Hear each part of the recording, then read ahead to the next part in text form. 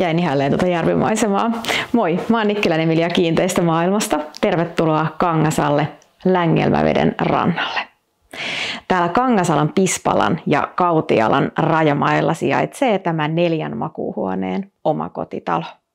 Tällä talolla onkin vaiherikas ja mielenkiintoinen historia.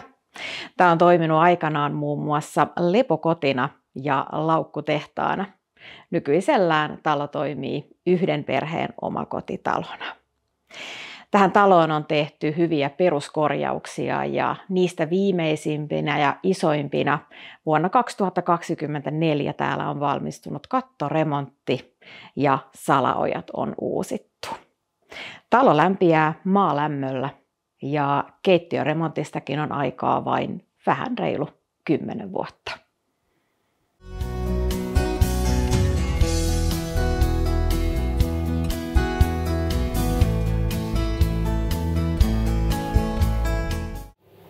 Tälle kiinteistölle kuuluu noin 70 metriä kaakon suuntaista Längelmäveden rantaviivaa. Oisko tässä sulle ja sun perheelle uusi koti? Soitan niin tullaan yhdessä katsomaan.